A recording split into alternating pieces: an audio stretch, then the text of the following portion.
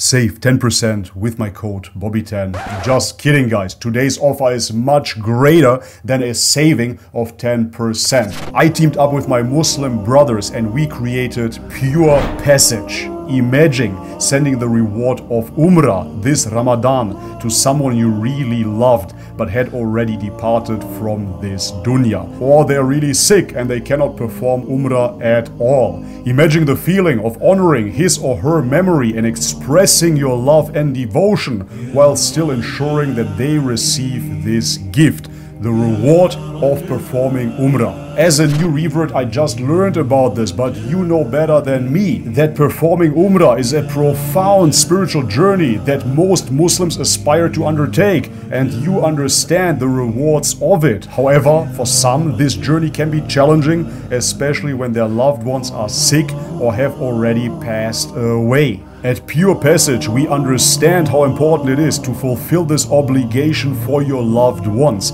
That's why we offer our professional and reliable service to perform Umrah on behalf of your sick or deceased parents, spouse, or any other relatives. We believe that everyone should have the opportunity to fulfill this sacred act, even if they are unable to do so themselves, and equally understand that the physical and financial challenges of performing Umrah yourself on behalf of your loved ones can be overwhelming. That's where Pure Passage comes in. We take care of everything and make sure that your loved one's Umrah is performed with the utmost care and attention to detail. So let us help you earn this immense reward for your loved ones by performing Umrah on their behalf. Contact us today and let's make it happen. Bi'idhnillah.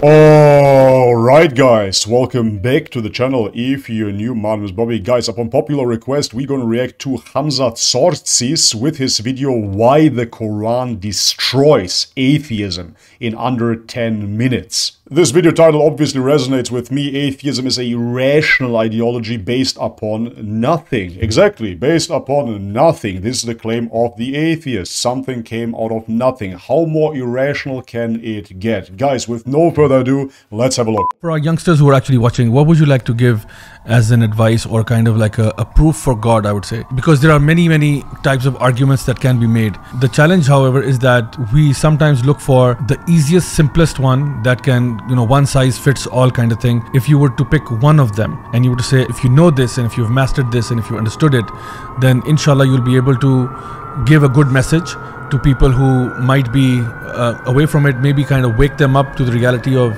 who Allah is and so kind of shake them up so that they understand that you know they have to die one day and face Allah subhanahu wa ta'ala so what, what would you say is uh, a good argument for that Atheism for me is the equivalent, if not worse, than believing the earth is flat.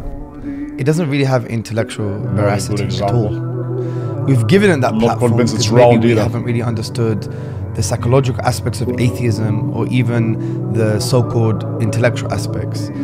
But when we look at the book of Allah subhanahu wa ta'ala, the main question that Allah is really answering for us is not does God exist, but hmm. who's worthy of worship? Hmm. Or that Allah is worthy of worship. And this is very important to understand because it shifts the debate and the discussion. Hmm. And we could unpack why that's the case because I would argue that the idea of creative agency, the rububiyyah of Allah subhanahu wa ta'ala is self-evidently true. Hmm. And even in philosophy, if something is self-evidently true, true by default, the one who's opposing that claim has to provide the evidence, right? Hmm. Hmm. And there's so many other things we can unpack, and there's a chapter in my book on this issue. So I, I frame it that way so that people realize, oh, that's very interesting. And when you look at what an atheist is from an Islamic paradigm, you have different terms. For example, you have ilhad, hmm. you have the dahriya, which is like the philosophical naturalists of like the early period. But say ilhad coming from lahad, right? Hmm. Lahad in the in the grave is like, you know, you, you dig a hole and there is a little side pocket. That's the lahad, yeah. Hmm. It's a deviation, godlessness. So a mulhid is someone who deviates. That's the first point. The second point, the Prophet ﷺ said in hadith in Sahih Muslim that every child is born in a state of fitrah. Yeah, there are scholarly discussions on this, but basically, we have a fitrah that has an affinity or it's driving itself towards the haqq, which is mm. Allah is one, He's worthy of worship, He's worthy of extensive praise, He exists. So it's natural. Then Allah says, Only a fool, someone imprudent, hmm. will reject the way of Ibrahim, Yeah. which is Tawheed, and within Tawheed is creative agency, the rububiyyah of Allah subhanahu wa ta'ala. So, what are we getting from the Quranic paradigm here? We're getting that atheism is unnatural, it's a deviation, right? It's irrational. Hmm. Because what does Allah say in chapter 52, verse 35 to 36? At the end, indeed you have no certainty, right? Because what does Allah say? Did you come from nothing? Am khuliqu, makhluk, you're something Yeah. that once didn't exist. Yeah. Muhdath, you came into being. Hmm. So did you come from nothing? I know there is a scholarly discussion if it's from or via nothing. And this is why the Quran is so powerful and transcendent of time, of course. Because if you look into this claim, it addresses our time right now, where the atheists claim we came out of nothing. Don't you see it is found within the Quran? And it asks you yourself to reflect upon this statement. Ask yourself, did you come out of nothing? How would that make sense? If there is nothing, literally nothing, why would atoms form in the first place? Why would there be a big bang out of nothing? If there is no building material, no potential for anything, there is nothing, how can anything spring out of it? And moreover, the question why is of course not answered either then. Hmm, it just stamped into existence and we can see certain evolution, a certain intelligent pattern. Evolution is intelligence after all, is it not? Where does this intelligence come from? Where does existence come from? What is existence? Are you existing? All those questions are not being answered within atheism. Quite the opposite. They are being ignored under the pretense that we cannot answer them anyways. Yeah. Same, is ridiculous. At the end, the conclusion is the same. Yeah. Did you come from nothing? Did you create yourself? Did you create the heavens and the earth? mm. Indeed, you don't have any certainty. Hmm. Exactly. And I gave them just basically an explanation of these ayat. Wallahi, I be- I've used these ayat against philosophers, thinkers, humanists, liberals, secular secularists, some of the greatest sure. atheists, and I am telling you, greatest they have atheists. had no response as a counter defeater. Hmm. They may have some shubuhat here and there, but as a as a undercutting defeater, nothing. Hmm. Yeah, and it's from the Quran. So the Quran is talking about the human being, but it hmm. ca- you can't apply the logic of these verses to something that came into existence. Hmm. So we could establish the universe came into existence just by a metaphysical argument. You don't need to go to astrophysical, astrophysical evidence that's dhanni because Yeah. it's speculative, it's going to change and it may change. We don't have to go to the philosophy of, of, of mathematics or the infinity. We could just talk about very basic things. So, hmm. if you allow me, take this phone for example. If I said to you this phone is eternal, hmm. everyone would reject it. But Yeah. why is the phone not eternal? Hmm. Maybe I can claim this is I.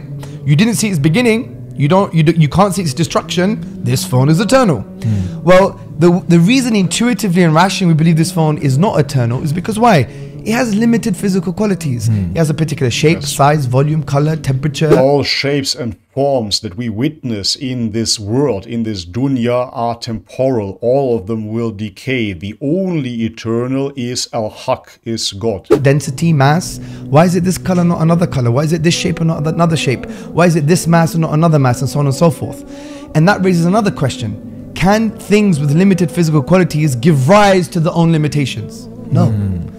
I didn't give rise to my own, own limitations. Therefore, there is something external to me that gave rise to those limitations, mm. and therefore this thing is Very finite. Mm. So therefore, it had a beginning. So you and if you take this phone, Yes, it's a great example. If you're creating a motorcycle, for example, you can create a 1000cc motorbike that will go up 300 kilometers an hour, or you can create a scooter. You're creating those limitations with a purpose. There's a purpose for a scooter, and there's a purpose for a race bike. and expand it to the size of the universe, same conclusion. Hmm. Because it fundamentally is made of the same stuff. Yeah. Whether you call it strings or quarks or whatever, irrelevant. Limited physical qualities. Sure. So it's finite. If it's finite, then you could universalize the logic of these of these of these ayat. Hmm. Did the thing that is makhluk that came into existence, that's finite, did it come from nothing? Hmm. Did it create itself? Was it created by something else created? Because why? What does the ayah say? Did you, the human being, the thing that is makhluk, create the heavens and the earth, which is makhluk? Yeah? So ultimately, is that an explanation? Mm-hmm. Or, which is implied in the ayat, or is there an uncreated creator? So just to mm-hmm. repeat, Exactly. did it come from nothing? Did it create itself? Did, was it created by something else that was created, or was it created by something uncreated? Mm. So let's break it down. Could the universe come from nothing? What we mean by nothing is no thing, no prior causal conditions. Hmm. We're not talking about the theological nothing, kun hmm. fayakun. Hmm. Yeah. That's different. That means Allah didn't have anything prior when He actually created the first creative thing, the first creation. He only had Allah himself. was there, yani, so you can't say it's nothing at all. His Yeah. irada and kudra were the prior causal conditions to bring the first creation into existence. So Yes. it's- we're not talking about that type of nothing. We're He would be the infinite potential, so he's most certainly not nothing. saying no thing, no prior causal conditions, no thing at all. Can something arise from that? No. No. Because when you have kuchne, nothing, kuchne. and more kuchne, and Yeah. more kuchne, you're going to get Kuch nahi. Kuchne. Yeah. Zero plus zero plus zero is zero. Mm, something with no property, with no potential, no, no prior causal conditions, no thing at all. It's impossible. And if they claim that's the case, then they're irrational and absurd. because it's the equivalent of me shutting my eyes, counting to three, and after three, this whole room has disappeared. Hmm. And I should say it's perfectly fine. Hmm. How can that be perfectly fine?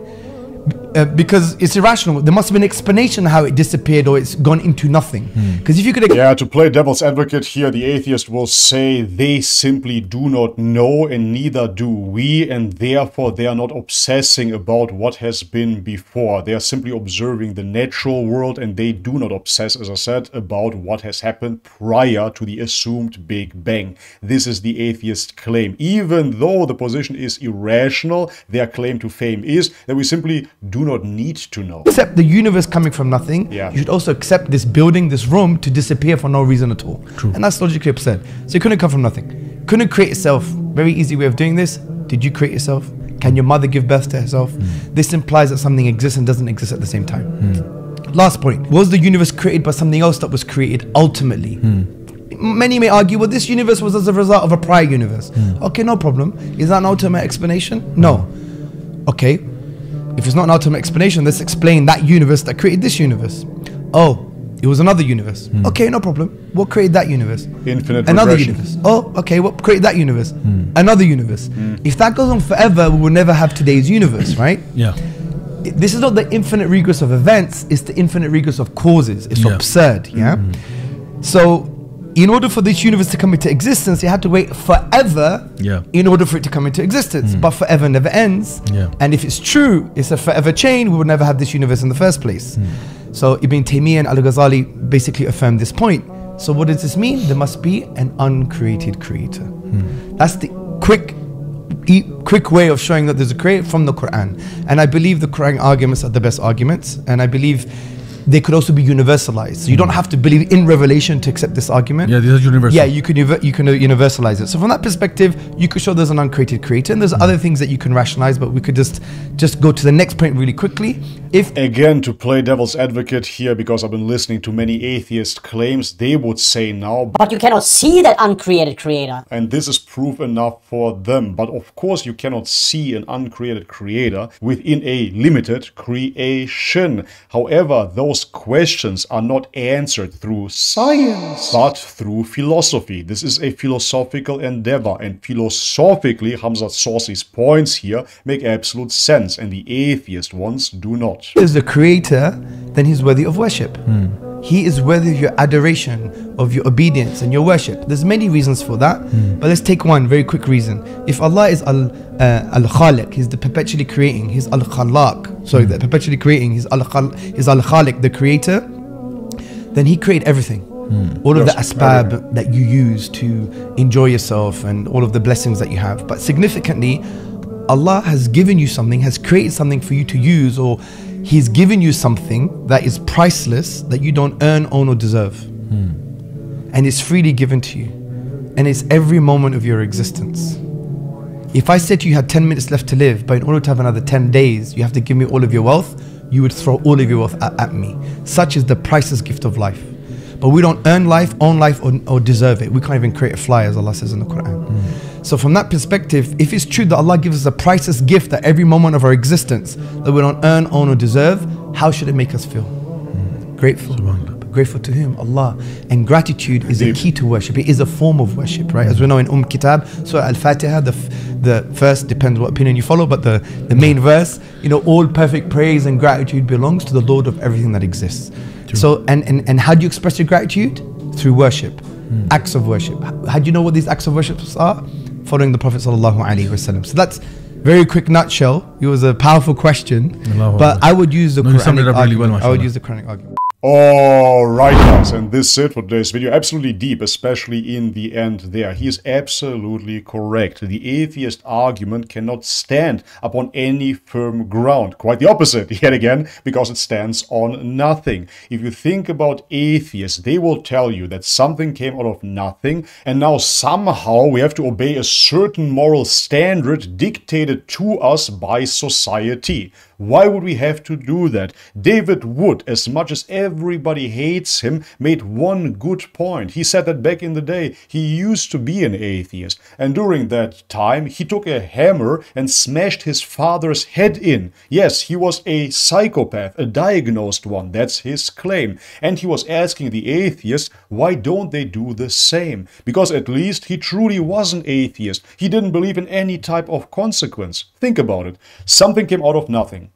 And once you die, you go to nothingness. You stop existing. If you truly would stop existing completely, then nothing matters. Because what does it matter if I die today or tomorrow or in 100 years? Who cares? Because you couldn't remember anything. Matter of fact, if you go back to nothing, you would never remember that you were born in the first place. So all the moments that you shared with your friends, with your family, with your children are all null. They're all for nothing. They never actually happened. So evolution just stemmed, popped out of nothingness, and somehow randomly human families evolved out of that. Human families that can ask questions, that can feel love, affection towards each other. But all of that doesn't matter, remember? Because tomorrow the lights go off and everything is dark, everything is black, nobody cares. So if this is truly the reality that the atheist mind wants to propose to us, why don't we just all go out, shoot everybody, pillage, just absolutely rampage? Because nothing matters. There is no right and wrong. But moreover, the atheist will always insist that they are moral people. Why? Why do you care? I talk to so many vegans, man. Most vegans are atheists, so they don't believe in God, they don't believe in right and wrong, but they do believe that it's wrong to eat animals. Why would it be wrong if there is no right and wrong in the first place? And why would it be wrong if you believe in Darwinistic evolution? Just look around you, everything eats each other, so join the party, have a stake. Who cares? Tomorrow you are dead. Don't you understand? It is an ideology of absolute despair because it doesn't give you any moral groundwork, any philosophical groundwork, any value. But the human being seeks value. This is what we do in everything that we do. We are seeking value. We're trying to understand the worth behind it, the meaning behind it. The human being is a creature that wants to understand the meaning, the meaning of its surroundings, and the meaning of its own existence. But you're going to take that away from humans. You're going to tell them that they're just biological machines are worth absolutely nothing. Shame on you. Alright guys, but this is it for today's video. If you liked it, leave it a thumbs up. If you haven't subscribed already, guys, please do so. And if you want to support this channel, all the links are in the description box below. Thank you so much for your ongoing support, guys. And as always, may God bless you all. Much love and peace.